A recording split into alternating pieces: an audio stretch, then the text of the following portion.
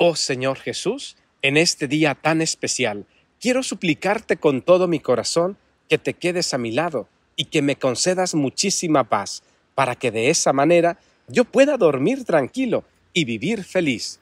Amén.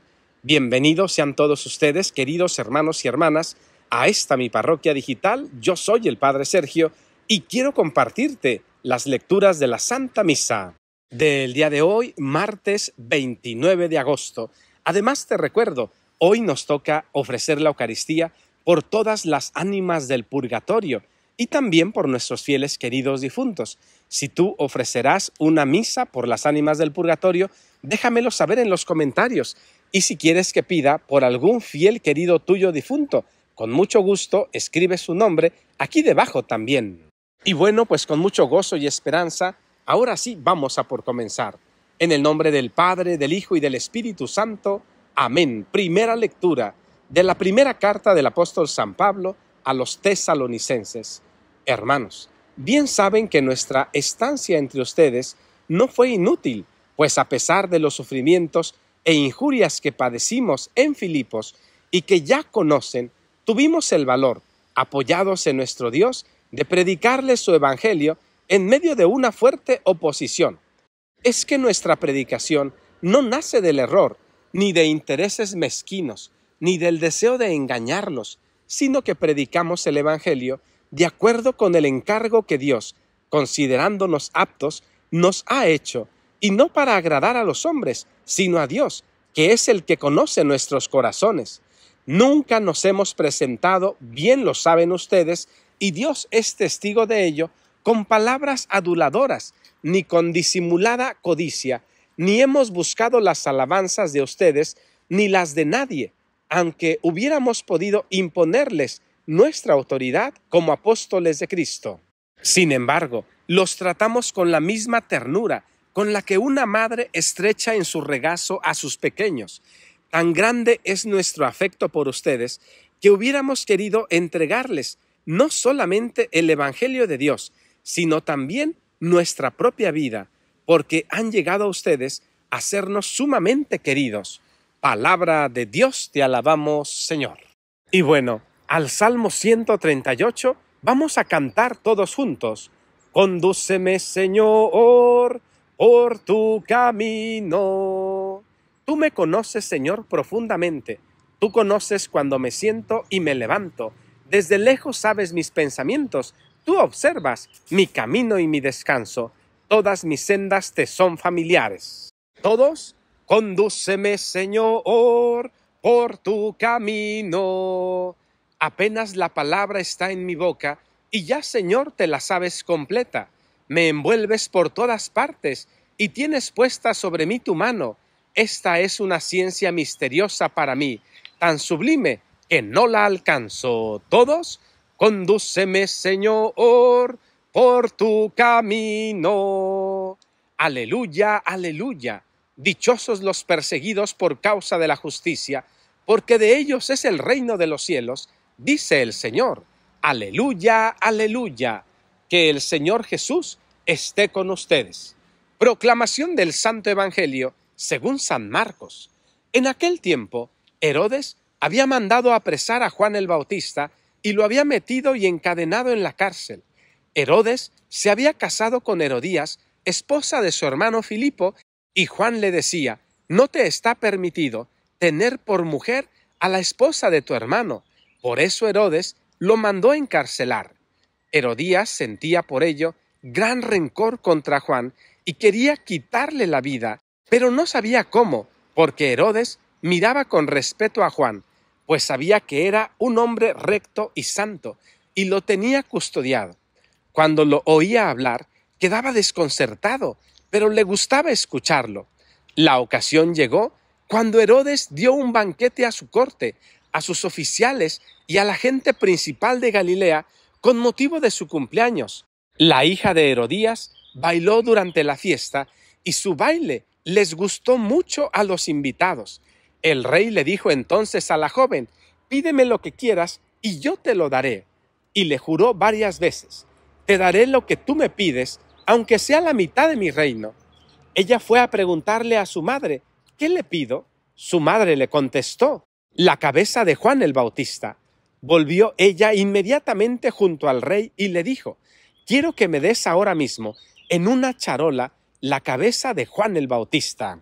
El rey se puso muy triste, pero debido a su juramento y a los convidados, no quiso desairar a la joven y enseguida mandó a un verdugo que trajera la cabeza de Juan. El verdugo fue, lo decapitó en la cárcel, trajo la cabeza en una charola, se la entregó a la joven y ella se le entregó a su madre. Al enterarse de esto, los discípulos de Juan fueron a recoger el cadáver y lo sepultaron. Palabra del Señor. Gloria a ti, Señor Jesús. Queridos hermanos y hermanas, que la gracia de Dios me los acompañe, ¿verdad? Hoy es un día bien bonito, así es que vamos a ver qué nos quiere decir el Señor el día de hoy. Este Evangelio lo acabamos de escuchar hace poco, ¿verdad? Y ahora se está repitiendo para demostrarnos algo. Tú ya conoces la historia, ¿verdad? Herodías le dice a su hija, pídele la cabeza de Juan el Bautista porque no estimaba para nada a este gran apóstol. Y fíjate, la hija de Herodías pues le pide la cabeza a su papá y el pobre San Juan Bautista muere. Fíjate que yo me pongo a pensar, seguramente esta joven, entre 13 y 16 años, pues no sabía muy bien lo que pedía. Simplemente pues le hacía caso a su mamá y pidió algo que estoy seguro por demás que después se arrepintió.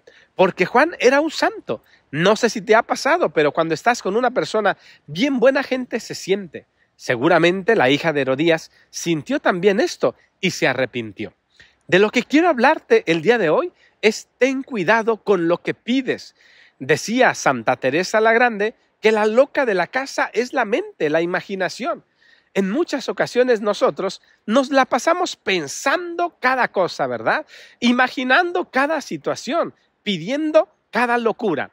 Hermano y hermana, tengamos cuidado con lo que pedimos, porque puede ser que se nos sea concedido y si es algo que no te conviene, que no te edifica, que no te santifica, pues imagínate las consecuencias, serán igualmente terribles, así como fue las consecuencias pues del martirio de San Juan Bautista. Queridos hermanos, ¿verdad? Yo me imagino que en muchas ocasiones, cuando Dios nuestro Padre escucha lo que hay en nuestro corazón y lo que le estamos pidiendo, Él piensa que somos sus hijos, pero un poco consentidos, un poco berrinchudos. Hermanos y hermanas, aprende a pedir con cuidado, aprende a pedir solamente las cosas buenas.